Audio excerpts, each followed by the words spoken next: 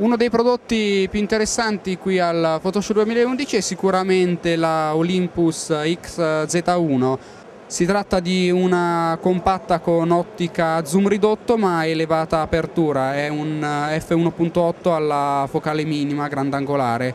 Ha un sensore da 10 megapixel, quindi è stato scelto di non esagerare con i megapixel stipati sul sensore appunto è una di quelle compatte che punta molto sulla qualità. Eh, come vediamo abbiamo una ghiera di controllo sul barilotto dell'obiettivo che richiama quello della, della fotografia a cui eravamo abituati prima del digitale, ha molti controlli eh, manuali e quindi mette al centro il fotografo e la sua creatività.